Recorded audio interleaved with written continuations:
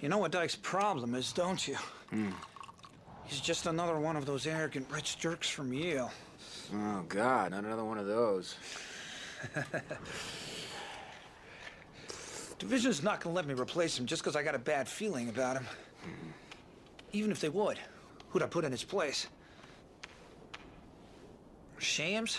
Do not ever talk when I'm talking, you got that? Shames seen too many war movies, thinks he has to yell all the time. Did not listen to a word I said during that briefing, did you? Or Peacock? God bless him, no one tries harder, but he's not cut out to take men into combat. I'm sure as hell not gonna make him company CO, and I don't even want him as a platoon leader. What about Compton? He's the only real choice. Buck's a real combat leader, but you know, I want Easy Company to have at least one experienced platoon leader. Not that it matters anyway, because I can't get rid of Dike.